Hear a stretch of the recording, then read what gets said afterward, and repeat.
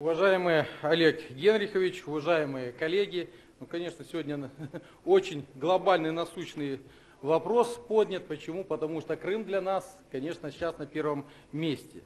Уже почти год, как Крым стал частью Российской Федерации. 16 марта прошлого года крымчане провели исторический референдум и проголосовали за присоединение к России. Они поверили в возвращение домой, поверили, в первую очередь, в лучшую жизнь, поверили в Россию. Сегодня на нас лежит огромная, уважаемые коллеги, ответственность в том, чтобы это доверие оправдать. Оправдать не только перед крымчанами, да, но и перед, в первую очередь перед своими гражданами.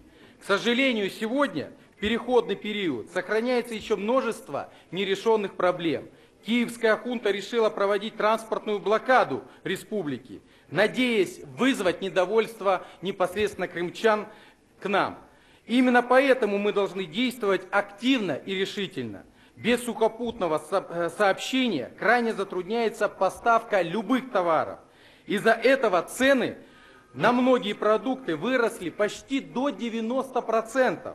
Конечно же, граждане обеспокоены такой ситуацией, им надо кормить свои семьи. И прекрасно мы понимаем, что и нас можно понять с той стороны, что там есть переходный период. Поэтому, Олег Геннадьевич, мы предлагаем, что если сейчас в правительстве нету достаточно средств, тогда обратитесь к нам, обратитесь к чиновникам, обратитесь к депутатам всех уровней. Я вот на ярком примере могу сказать, что фракция ЛДПР готова 10% отдать на строительство моста со своей зарплаты. И я думаю, что если вы обратитесь ко всем чиновникам России и ко всем депутатам Государственной Думы и всем остальным, то мы первый транш для строительства найдем ради наших крымчан. В прямой зависимости от транспортной инфраструктуры находится и вопрос, конечно, туризма. Без преувеличения могу сказать, Крым – это жемчужина России – потрясающим целебным климатом, с необыкновенной природой. Конечно же, многие граждане России хотят приезжать на Крым. Но в итоге мы опять сталкиваемся с одной и той же проблемой. Вспомните э, то лето, когда люди стояли по 20-30 часов в очереди, уважаемые коллеги, с детьми. Вы представляете, какое-то кощунство издеваться так над людьми. Пока не построен мост, уважаемые коллеги, мы должны создать нормальную перевозку наших граждан. Это увеличение паромов, это увеличение в первую очередь стенок причальных. Давайте выделим на это средства и общими усилиями окажем руководителю Крыма э, э, Аксенову непосредственно решить этот вопрос. Тогда я считаю, что этим летом мы поднимем турист на первое место, увеличим бюджет в Крым, и все наши граждане свободно смогут приехать и там отдохнуть. Коллеги, также хочу обратить ваше внимание на проблему обеспечения населения полуострова водой и электричеством. Самым необходимым в наше время. Сегодня в таких жизненно важных областях Крым до сих пор во многом зависит от Украины. Многие политики Украины страстно желают отомстить крымчанам за их свободный выбор.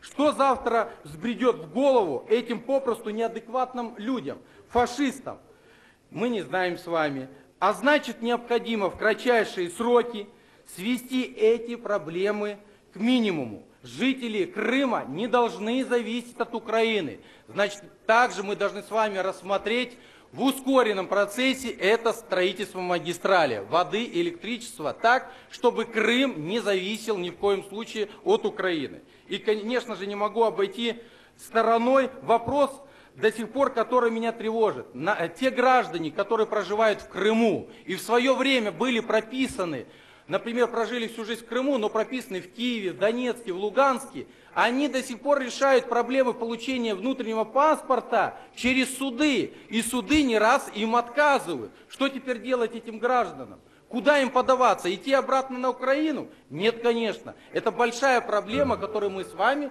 должны ее сейчас решить. Никаких судов. Человек пошел и получил паспорт. Уважаемые коллеги, хотел бы еще раз подчеркнуть необходимость в полной мере выполнить все взятые на себя обязательства. Сегодня на Крым смотрят не только Россия. На Крым смотрят в первую очередь Европа, Америка и сами украинцы. Почему? Потому что это для нас с вами стратегический объект, это стратегические те вопросы, которые мы должны сейчас перед крымчанами оправдать. Спасибо, Роман Иванович.